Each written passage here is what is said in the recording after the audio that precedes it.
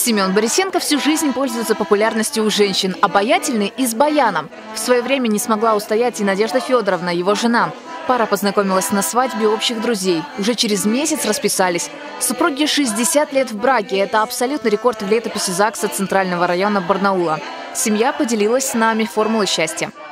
Терпение. Мужчины у нас такие, что они. Вот.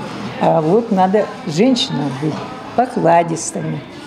Иной раз, если разжигается пожар, его вот, не разжигать дальше, а вот, чтобы это... Тушить. Тушить, по-русски говоря. Ваша дама сегодня самая какая? Самая. Самая-самая.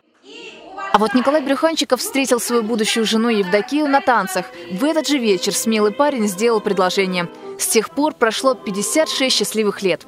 Сегодня марш Мендельсона прозвучал и для семьи Федоровых, как 54 года назад. Кто-то из них пережил военное детство, колесил по городам, с утра до ночи работал на заводе, и несмотря на жизненные трудности, семьям Борисенко, Брюханчиковых и Федоровых удалось даже спустя полвека сохранить свою любовь. Ирина Корчагина, Александр Антропов. День с толком.